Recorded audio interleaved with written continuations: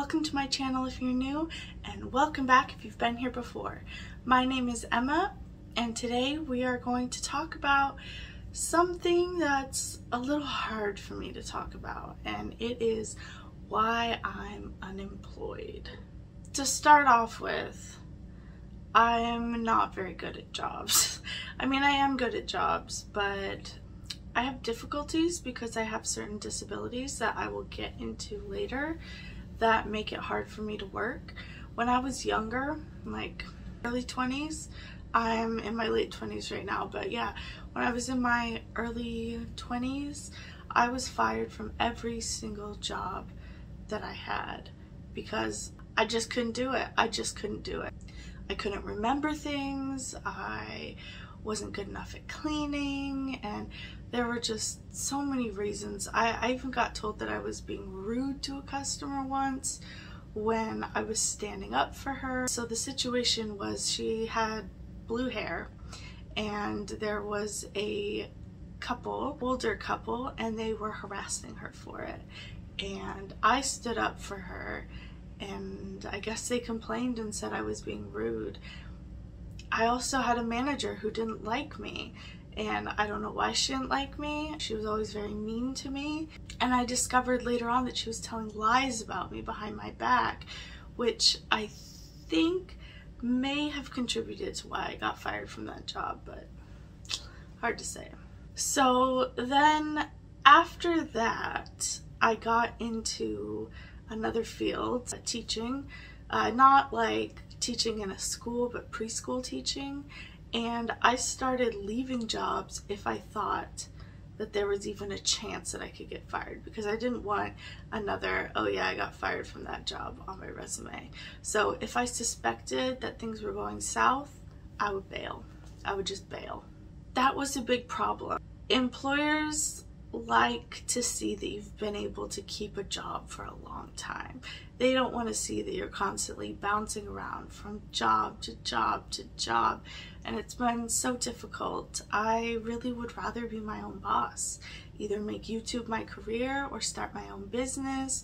I do want to start a hijab company, but that's going to take a little while to start simply because I want to be an ethical company and I don't want to buy my hijabs from overseas. I want to make them myself with eco-friendly and sustainable fabrics, but we'll, we can get into that another time. I've always loved teaching kids. It's always been so much fun for me and I managed to land a job at a great preschool and everything was going smoothly.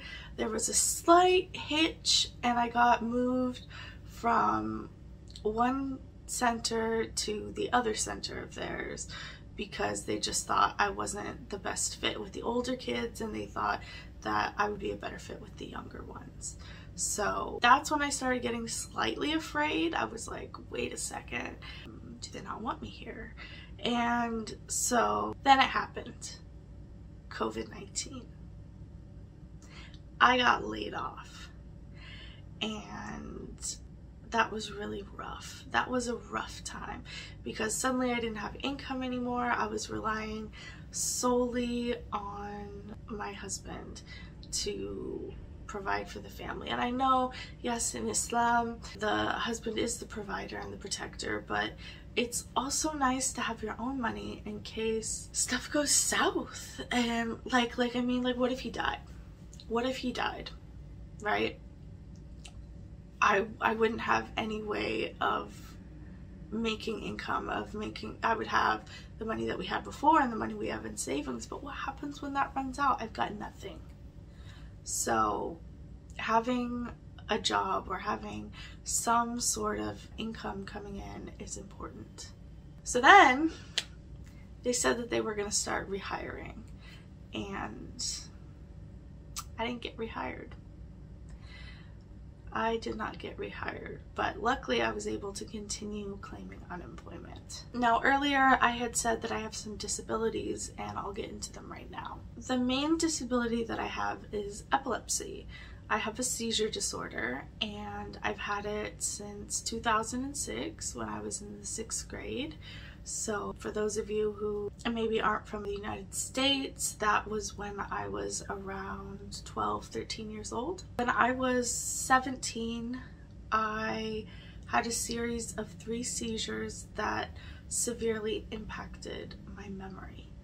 I have a very hard time remembering sequences, remembering. So if somebody says, okay, I need you to do X, Y, and Z, I might remember to do X and I might remember to do Z, but I won't remember to do Y, and then people will get frustrated. Or you'll have X, Y, and Z, I'll get all of them done, but say Z has several steps that needs to be followed, and you know, Z has one, two, three, four, and I remember to do one, three, four, but I forgot two, and now Z didn't even get completed fully.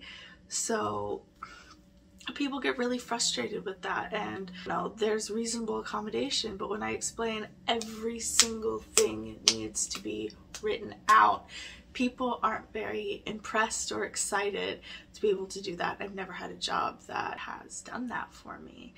So that's been very difficult. And it's one of the reasons why I'm not really able to succeed with jobs because I have that disability. My other disability is I have depression and anxiety.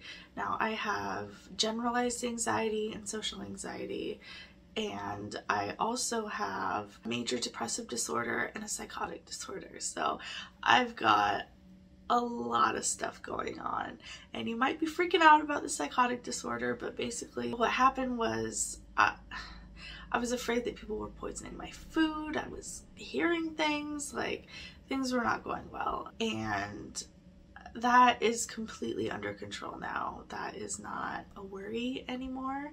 The psychotic issues but the depression and the anxiety definitely are and they definitely impact my day-to-day functioning.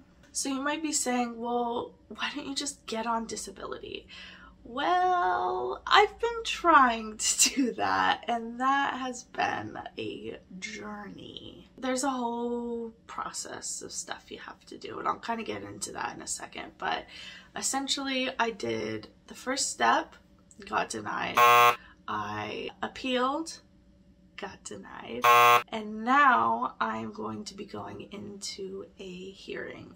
So if you want to find out what happens during the hearing, here's my Instagram right here.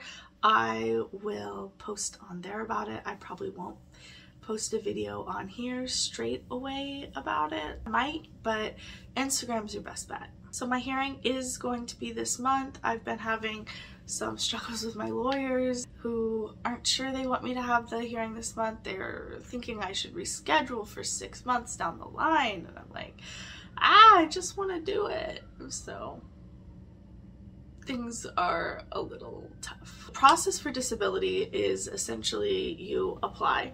That's the first step. See what they say. What they told me is they thought that there were certain jobs that I could still reasonably do. So no, you don't get disability. So I said, well, actually, and I applied, well, I didn't apply, I appealed. So first you apply, if you get denied, you appeal. So I appealed. And they said, mm, still no. So I got a lawyer and I moved on to step three, and that is the hearing. So I'm gonna have the hearing now uh, not like this very second, but I'm gonna have the hearing. And then if I get denied after that, the fourth step is you present it to I don't remember what they're called. It's it's some like board or committee or something, this group of people. And they get to decide. You appeal to them and then they get to decide. And if they say no, you have to start it all over again from the very beginning.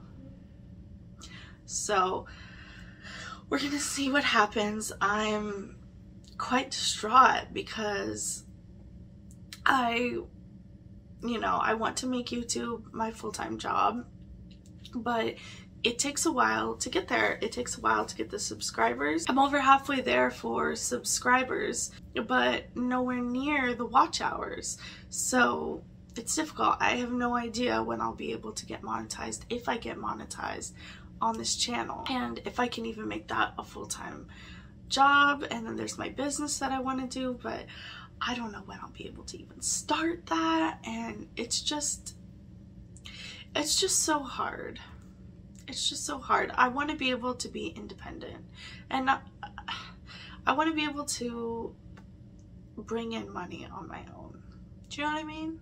So I think probably a lot of you are wondering, am I ever going to work again? And that's a bit complicated.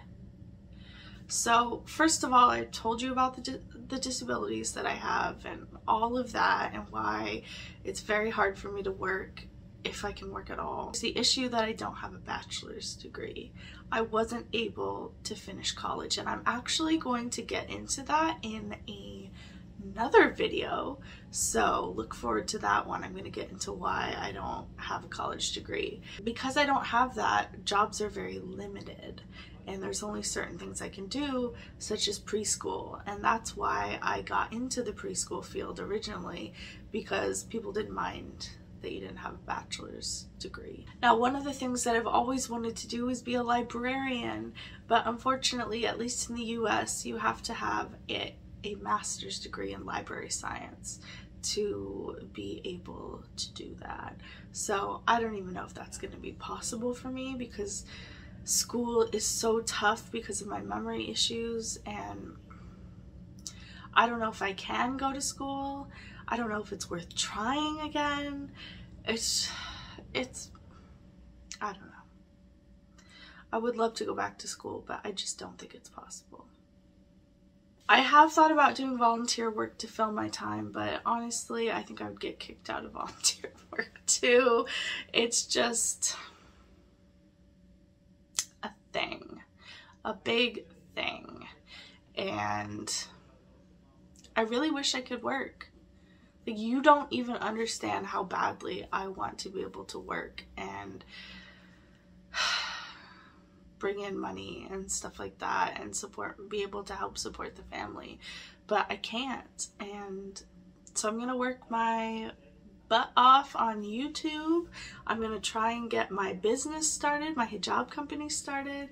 I had a video when I was doing my Kickstarter that failed miserably. So I'm gonna have to start from zero and luckily I have I was gifted a sewing machine. Hopefully I can be gifted a serger. That would be really nice and then I could really be on my way and get get some of the more expensive things out of the way and start up. Now the issue is I live in a one bedroom apartment and there we have a desk but it is in the living room and that's where my husband works. So I have nowhere nowhere for my sewing machine so I can't even sew. I can't I can't do it. I can't even attempt to start my business and I'm not ordering bulk fabric like pre-made hijabs from somewhere else and trying to sell them that's I'm not about that.